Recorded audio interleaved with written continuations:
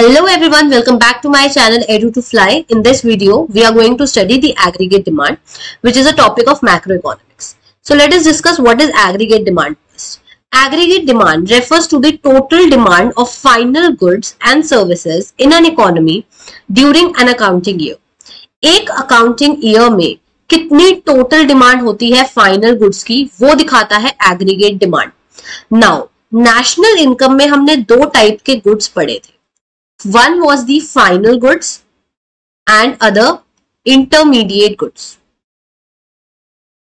So, यहाँ पे अगर हम एग्रीगेट डिमांड की बात करते हैं तो हम सिर्फ़ और सिर्फ़ फाइनल गुड्स को कंसिडरेशन में लेते हैं।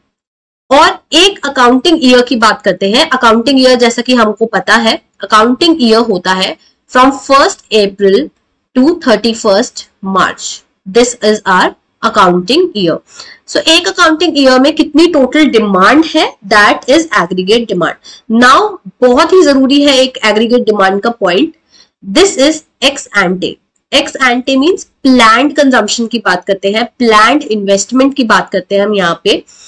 जो भी हमारी एग्रीगेट डिमांड है, वो अभी हुई नहीं है. अभी इनकर नहीं करी है हमने उस डिमांड के लिए एक्सपेंडिचर कुछ भी. वो अभी प्लान है.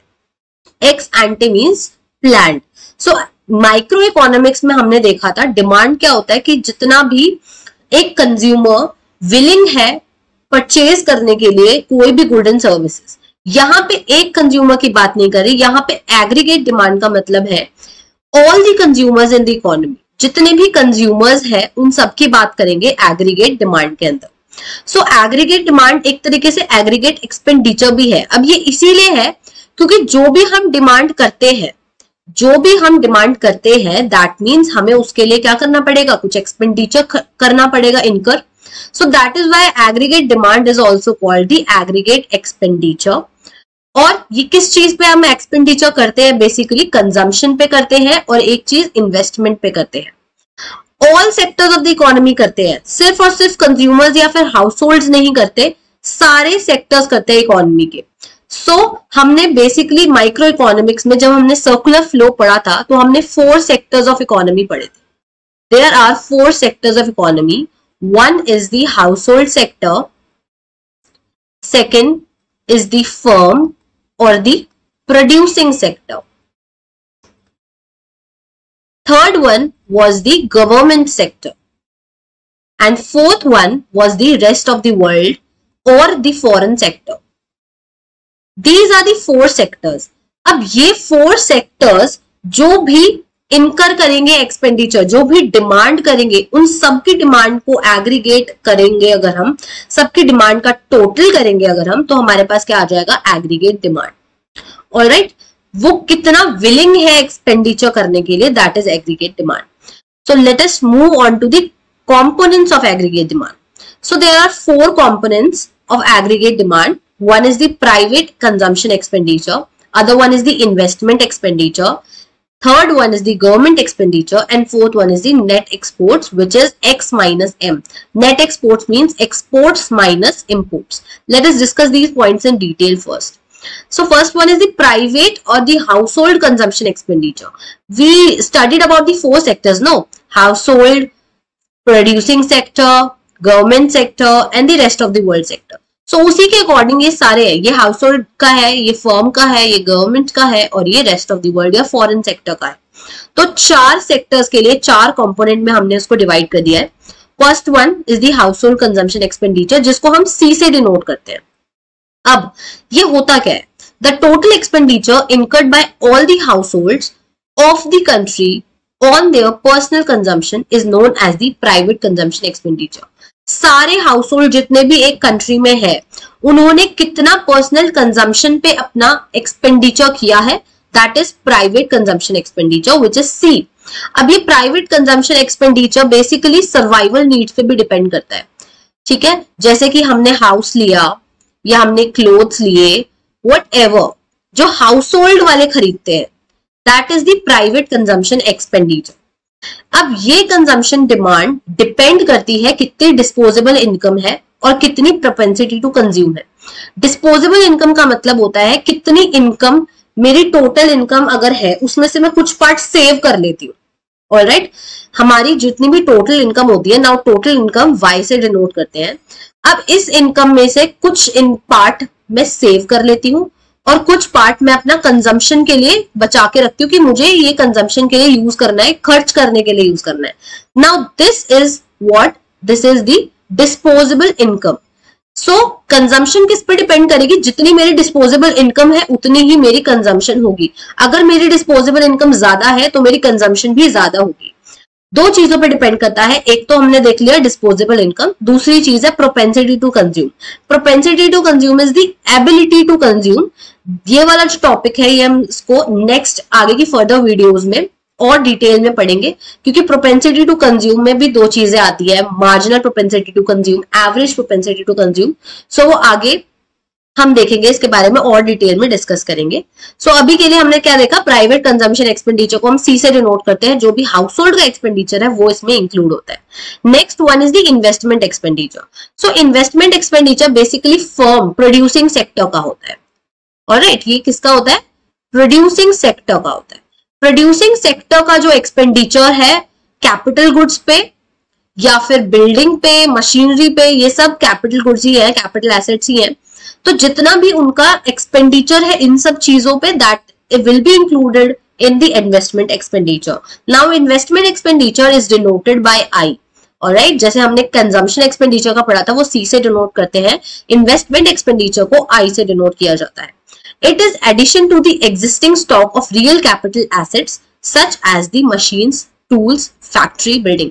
जो existing मेरे पास machines है टूल्स है फैक्ट्री बिल्डिंग है, उसके अंदर मैं और अगर इन्वेस्टमेंट कर रही हूँ, और ऐड कर रही हूँ मशीनरी और मशीनरी खरीद रही हूँ, और टूल्स खरीद रही हूँ, उसमें मैं इन्वेस्टमेंट अगर कर रही हूँ that is investment expenditure basically now investment demand depends upon the marginal efficiency of capital and the interest rate alright जैसे कि कंजम्पशन एक्सपेंडिचर दो चीज़ों पे डिपेंड कर रहा था। One was the disposable income other was the propensity to consume यहाँ पे इन्वेस्टमेंट डिमांड किस पे डिपेंड करती है?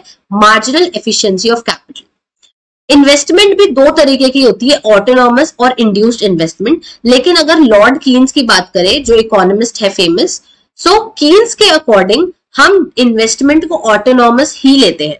अब now what is in autonomous investment what is induce investment तो ये मैं आई बटन में डाल दूँगी इसकी link so please do watch this what is autonomous what is induce investment next is the government expenditure So in a modern economy, government is very important buyer of goods and services. Government भी बहुत सारी goods and services खरीदती है।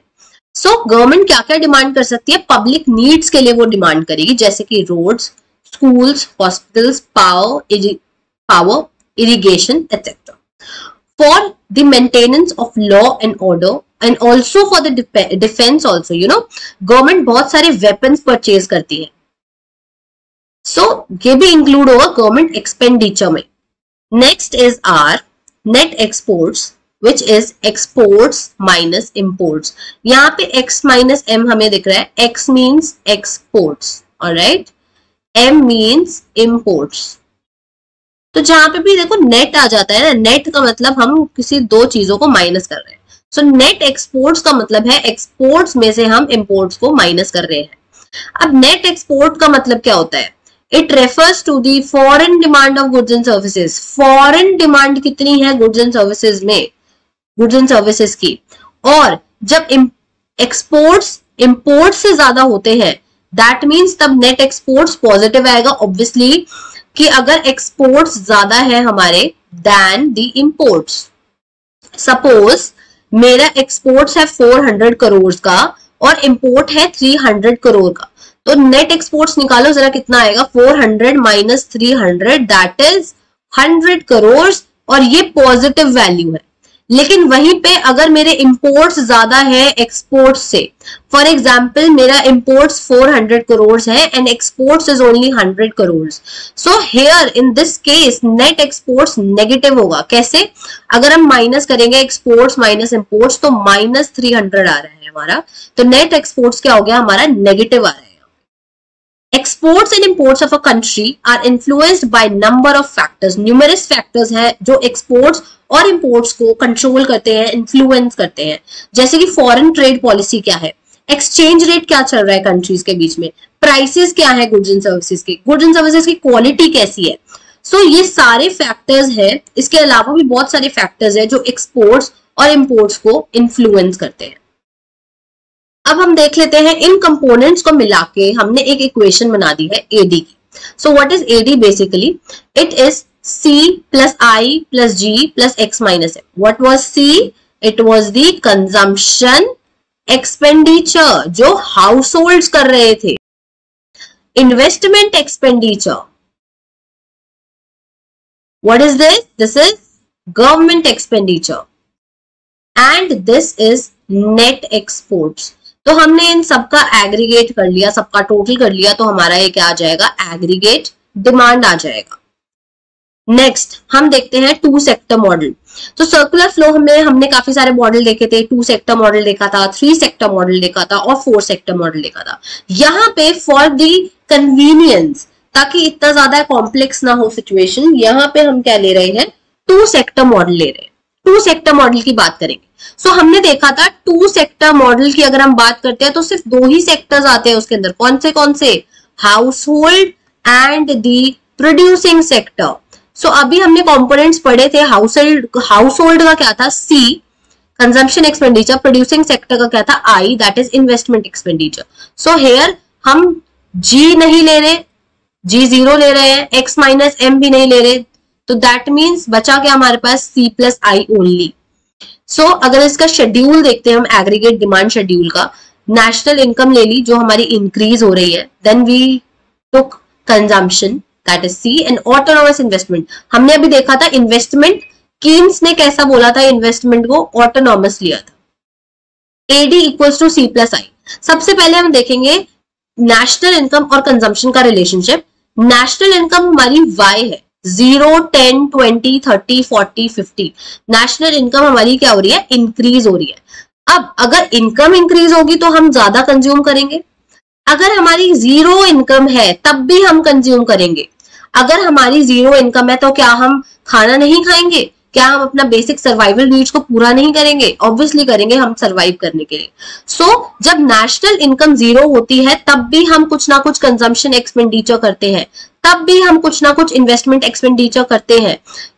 और right तब भी हमें कहीं पे रहना है तो हमें रेंट पे करना पड़ेगा। That is investment expenditure only so जब नेशनल इनकम ज़ीरो होती है और तब हम कुछ कंजम्पशन करते हैं तो उस चीज़ को बोलते हैं हम C bar C bar means autonomous consumption तो यहाँ पे हमने एक और टॉपिक देखा, क्या है ये? Autonomous consumption what is autonomous consumption?